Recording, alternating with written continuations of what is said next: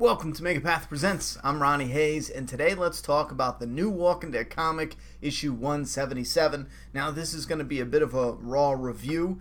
I got a lot of things going on, so I won't be able to edit this as much. Uh, and there are going to be spoilers. Obviously, we're discussing everything we read in the uh, most recent issue. Before we dive into the recent issue, though, I just want to say how excited I am that the sample copies for issue 2 of my comic Doomsday Kingdom just came in issue two, and then the second print of issue number one. The pre orders are still available at doomsdaykingdom.com. This is the moment where it, it's real again. Oh my god, just getting the comic in hand in physical form is just, I don't know, there's something to it. And some of these panels, too, like this one in particular, Oh man, I've been waiting to get that in comic form. That one down there, just absolutely glorious. And the first page, which is going to be a poster as well, just oh, I love seeing that. Uh, the quality is amazing too. Abs- it's just I'm so excited. Anyway, I don't want to go on and on about this, but DoomsdayKingdom.com. Check it out. The pre-orders are open, and if you have any questions whatsoever, if, if you're new, doomsdaykingdom at gmail.com. Uh, we can answer anything, any questions you have there. Anyway, diving right into this, let's do the recap first. Uh, the first couple pages covers Alexandria. We have Rick and Mikey going over um, dealing with uh, Mikey losing his mother, and then. Um, I think it's his whole family, isn't it? Uh, by now it is. and then Rick dealing with the loss of Andrea, just discussing a poem thing.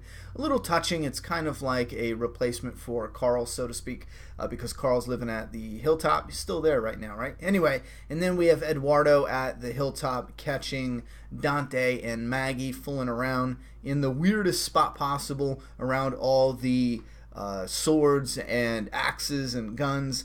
Uh, I don't kind of like a weird weapon shed they got going on. Anyway, Maggie's still in that that phase of still clinging on to Glenn, you can tell, which is understandable, absolutely. And then we see this new Sebastian character. I kind of like this. He's got this like 1950s look, right? And he's on a picnic with this girl. You got beautiful scenery all around, and then you see these walkers coming in close. Now, this is something that a comic book can do, but in a, in, a, in the TV show, it'd be a little more difficult because uh, the zombies make noise when they walk, when they shuffle, when they, you know what I mean? So, how did he not hear them coming? Maybe he was just so focused on getting some, he just selective hearing, or maybe he just assumed that Mercer would take care of it. Anyway, Mercer shows up, throws these really cool throwing axes in the zombie's head, and I'm going to show you one image from the comic. I don't show a lot of the images uh, mainly because of uh, copyright every here and there for uh, certain issues. We do show the images that are the most prominent or it's kind of like a helpful thing but i don't know if you can even see but mercer standing on top there. And another reason is you guys already read the comic so what's the point of showing you the, the pictures you got the comic you can open it up look at this image you, the kid sebastian a little asshole's like man you can't handle two zombies what the hell's the matter with you and you see behind him there's a trail of zombies so that's definitely a, a, sign that he's an absolute badass. Now, this is touching the next part, but a little on the edge of being too coincidental. You have Michonne and Elodie. Uh, is that how you say it? Elodie? Yeah, I believe so. Uh, they, she sees her apartment, Elodie's apartment, and then uh, they hug and they're still crying. And Elodie talks about how uh, her sister died, and they met up with a group of people that um, wanted them to do things, sexual favors, and she wouldn't do it. She, the other sister, ended up getting killed because of them, and she ended up not doing it, but also killing them. And that's almost exactly what happened with Michonne's situation being raped by the governor. So Michonne is like, listen, trust me, I understand completely what you've been through. I do like how Charlie Adlard draws them with very similar features, you know? Uh, you could look at her and that's Michonne's daughter. For a comic book, I think that is it's not important for a TV show, but for a comic book, I don't know, it adds a little a little special touch. She's not identical. She has similar features. So I really enjoy that. And like I said, it's a little too coincidental, but let's go to one of my biggest negatives. We see Sebastian coming back, uh, bitching to his mother, who is the governor, and she is uh, a little harsh on Mercer. Her son's an asshole, and then Mercer's in a locker room, and one of his buddies is like, Listen, they're going to get themselves killed. We don't even got to do anything. And then we're waiting for that to happen and you can lead and we'll take over. And then Siddiq is kind of like, uh, I didn't hear anything. You know, he shows up in a locker room and that's a cliffhanger. And the reason why I say that's kind of like, I much would have rather have um, Mercer just expressing how he's not happy with the situation and then do a line from him and end with a detailed image of his face with some kind of oh my oh my god is he rick like remember when rick was at alexandria and he's like if these people don't fall in line we'll just take this place from them you know? That's like a he sounds like a villain you know? If you don't know rick grimes that sounds like a, a very villain uh, thing to say. Now, this Mercer situation is the same thing. He, he comes off as kind of like a villain, but in the same strength, Sebastian's an asshole. I, I don't want to eat shit from that little asshole. Why? Why? Why would anybody want to? So you kind of relate to them. You know, you kind of understand where he's coming from. And then Siddiq walks in, and it's either misleading, where it's like, listen, dude, we're blown off stress, yada, yada, yada, and nothing's going to come from it because we get a lot of misleading cliffhangers in comic book format because you always need a cliffhanger in the comic book, but, uh, or it could end up, uh, Siddiq could get C3PO'd where he walks into a room and is like, oh, oh, I didn't see nothing, and then C3PO gets shot up from Star Wars, the old originals and something happens to Siddiq, he disappears. And now it starts like this. Well, wait a minute. Siddiq was here with us in Commonwealth.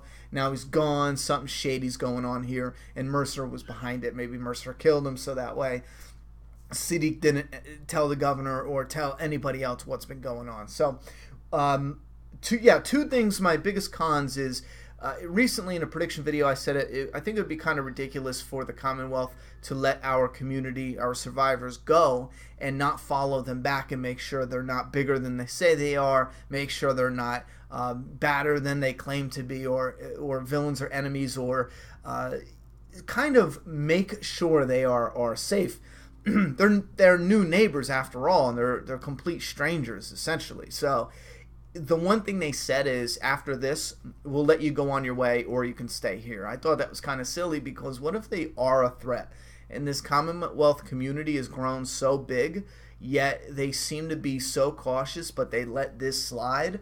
I don't know if i agree with that. So we're going to see how it plays out before we knock that. And the only other thing is the sebastian stuff with uh, the governor and it how it feels just like a repeat of Alexandria. You have the Monroes running Alexandria. You got their kids. Their kids are assholes. I kind of got the vibe of Eugene in the TV show walking in and Carter being like, "We're gonna take this place over." In the comic book, it was Glenn walking up to uh, Spencer, wasn't it? Or Nicholas. I'm sorry, it was Spencer. Blah, blah, blah, Glenn walking up to Nicholas and Spencer and all them talking, and Olivia. Olivia and Spencer weren't all there. Uh, you know, they weren't all about about it, but Nicholas was, and he chased Glenn down. He said, "We got to kill him." This and the third.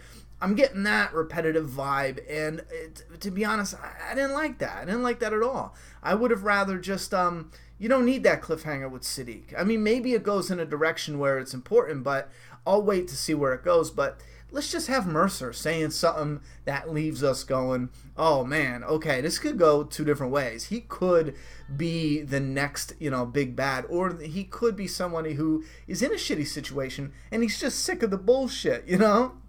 Which, like I said before, it's absolutely understandable. So, this was issue 177. It came with a variant cover. I didn't make it to the comic shop to pick up the two last issues of The Walking Dead. So next month when we review the new issue 178, I'll pick up the variant covers for the last you know two or three issues and I'll show you guys in physical form what they all look like. Uh, so stay tuned for that. And also Oblivion Song. Maybe tomorrow I'm going to try to upload a, a little uh, video about this but it's a new comic by Robert Kirkman. I was able to read the first five issues. They released Skybound uh, in a genius move I feel. Because once you read past issue five I think it is or six you understand why they released a volume to kind of tease him because there's a cliffhanger moment at the end of the first volume, the first story arc, that opens up the world of Oblivion Song into so many different possibilities and it's so very exciting. Now, if you don't know what Oblivion Song is real quick, it is this area that was consumed, let's say I forget the city. It's like Chicago or something, but this uh, certain square mile was consumed by this uh, field, okay? I don't want to give too much away. I want you to go and uh, experience it for yourself. But let's say this square mile or five mile square was consumed by this other dimension, and people who got lost in there are still in there. And this guy is going in, rescuing these people, and pulling them out of this dimension, and then getting treatment, and then finding their family members and reconnecting them and stuff like that. So, and there's monsters and like cool shit in this dimension. So that's as spoiler free as i want to get um, don't if that interests you at all just go and read it and check it out. They have the first issue drop today. First issues are, are always a little more difficult to get. So go ahead and read it in di- digital if it's sold out in your local comic book shop. And let me know what you think about oblivion song. Like i said i'm going to probably upload a separate video tomorrow or something just discussing that in a little more detail. So thoughts and opinions about the new issue of the walking dead down in that comment box also, if you read Oblivion Song already, leave your thoughts and opinions about that. And how excited are you for these physical copies? We I will be announcing when they're shipping very soon. So uh, again, go to doomsdaykingdom.com. I am through the roof every time I get the physical form. It's just like this is real you know like that's the moment. I don't know there's something about it. In a digital form it's you're seeing it come to life and it's so amazing in its own way. But when you get the physical copy there's something that just says it is a thing. Like it is it, it's official now. You know what i'm saying? I don't know. So issue two fireworks and fevers and then issue one the second print uh, limited run variant cover it's different from our first cover and this is do, uh, the feeding post which is something that uh, will be a staple in Doomsday Kingdom for the first 75 issues, uh, give or take. It is a completed story, around 200 ish, 275, I think, uh, if the entire story is told. So uh, we'll discuss that down the road. But again, thoughts and opinions in the comment box. I'm done talking. It's your turn.